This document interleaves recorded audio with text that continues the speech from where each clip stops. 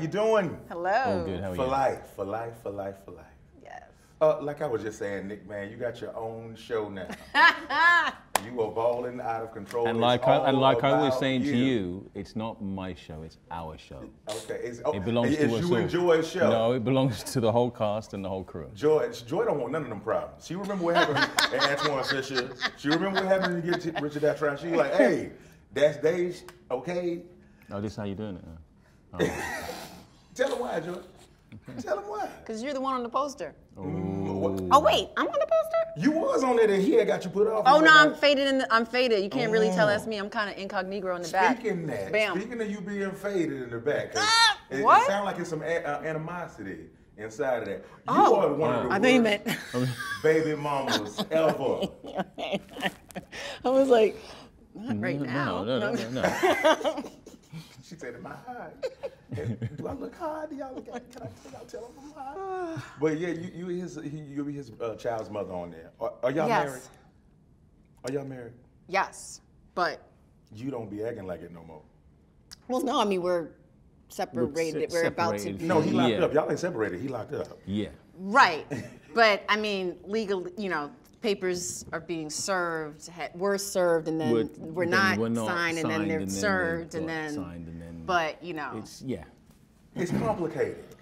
and that's, That's it, it. right there. Got mm-hmm. it. That's it And right it there. seemed like he has a really, really hard time with that.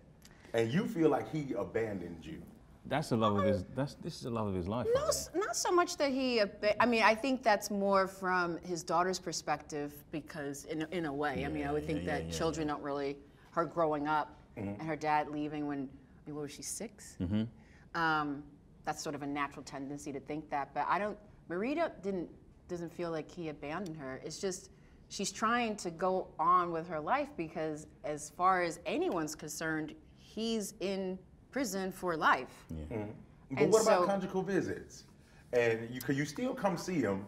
And so it's kind of confusing. not Like that- you, you're it's giving not him that hope. ki- not that kind of prison. You're taking it back. I think that she's obviously torn between the man that she loves and if he hadn't gotten, um, you know, railroaded in this way, they'd still be together. At the same time, you know, she's trying to still provide for her for her child and also do right by herself. So you know, it's complicated. She still got to kind of go out there and live her life. She can't, you know. But you know, it's complicated. It's Yeah, not binary. It get too complicated for me though, right? And thi- this is kind of where I kind of get torn in, and I feel like, like you know, he's acquitted, right? Like he he ends up getting himself off, obviously. Um, Eventually. eventually. Eventually. But right now, But right now, in the He where moment, he He's still at. yeah. right. And I feel like when you sign up for that life as a, you know, baby mama or wife or whatever, that's what come. We might get caught, and you gotta stay with me.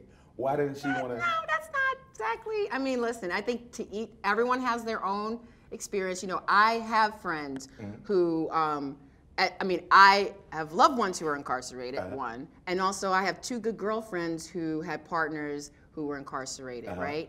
And whatever they decided to do that was best for them, Mm. I supported. Now they did the biz with they dudes, and ride or die, great. But you can't knock somebody for you know, taking that ride and deciding at some point that they have to do what's best for them. I mean, Mm. life goes on eventually. So, you know, you can't really pass judgment on how people navigate. But why that. does life have to go on with his best friend? Well, Yeah. that's also complicated, right? He was also the one that was there for her in a way because was. her man didn't really leave her with much options when he got locked up in terms of taking care of long-term goals, right? Making sure his family was always going to be good regardless of whether or not he got locked up or not, right? Okay. So she had to do what she had to do. She- now, homeboy was there and he was he was holding her down, and you know sometimes you know that's shit He happens. was holding yo. her down. He started holding Shit her down. happens. Okay. Okay. I, okay. And it's complicated. Got you.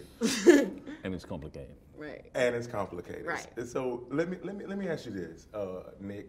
Uh, how do you how did you prepare for this role? Because you know I'm re- I'm really blown away by your your acting, man. You got a lot of you got you got that Denzel in you, man.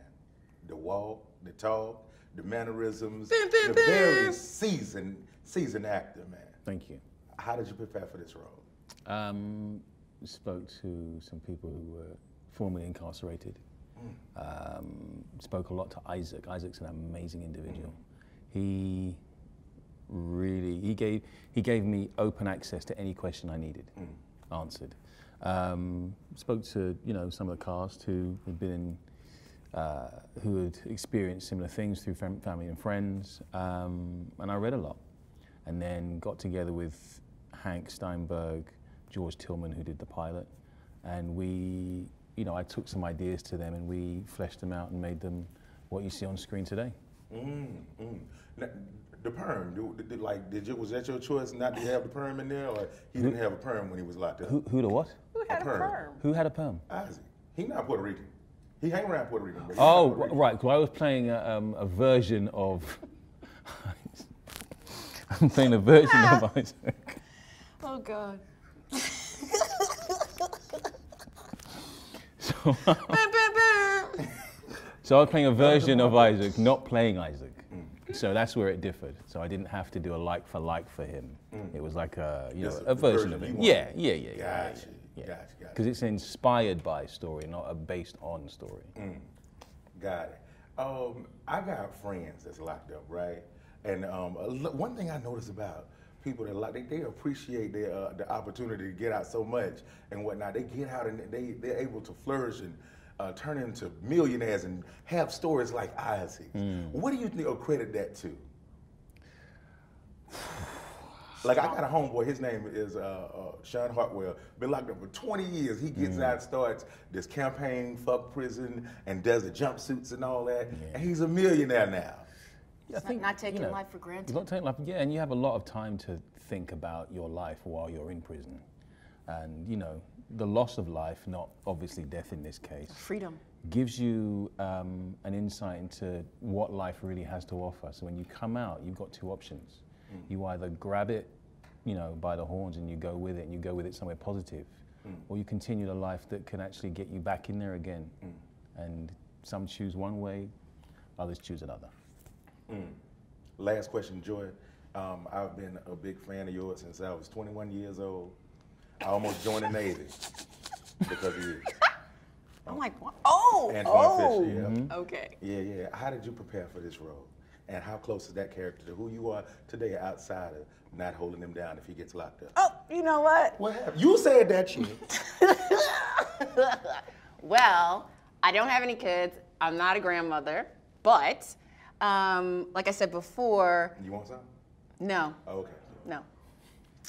Um, um, like I said before, having loved ones who are formerly incarcerated and friends who have partners who are incarcerated, that was um, that's what I leaned into to help prepare for Marie. Just kind of understanding what that dynamic is and what people go through. Um, and so yeah, and then everything's on the page. The writing's really dope. All you gotta do is show up and be relaxed and be ready to game day. You know, that's it. I appreciate y'all so much. Thank you. I'm glad you didn't go into the Navy. Yeah, me too. me too. they wouldn't let me in because of my eye anyway. Don't